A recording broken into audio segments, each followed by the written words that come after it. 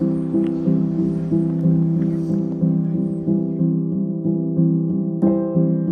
want to thank you for being here this morning for our 30th annual Mayor's Prayer Breakfast.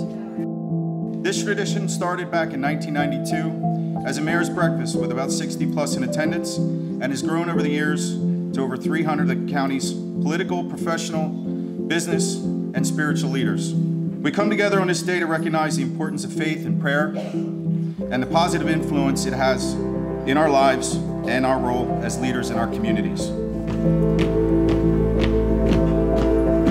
I've been coming to this breakfast since the very beginning. I love coming to this event every year. It brings people from all different parts of our community. This is certainly a wonderful time of the year. It's a great way to start the holiday season. And I came because I think we needed a prayer breakfast, especially this year. Great camaraderie and uh, great organization.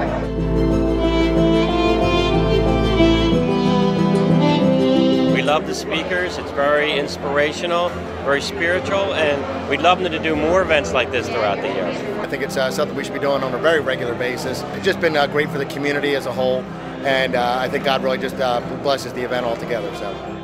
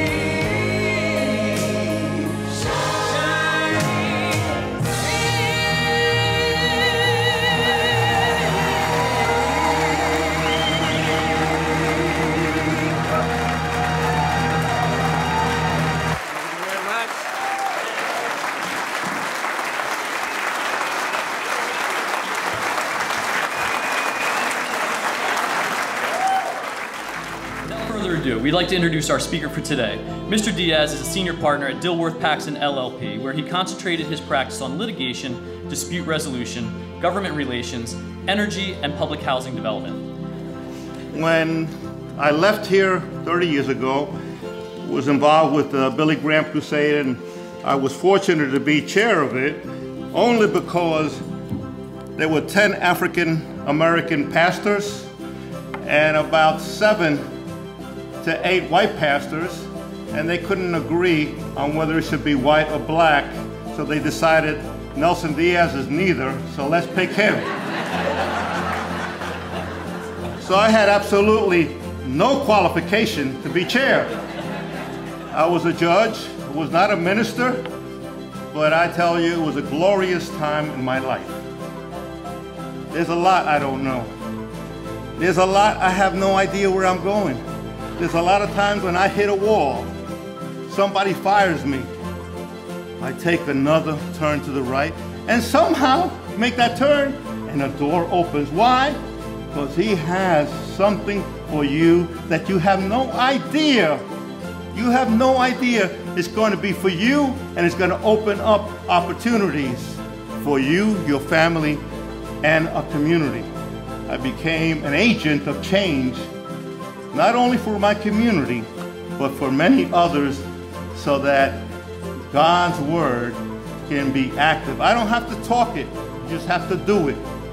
And if you do it, that is your example. So I hope that you enjoy my book, and I hope you enjoy the stories. God bless you.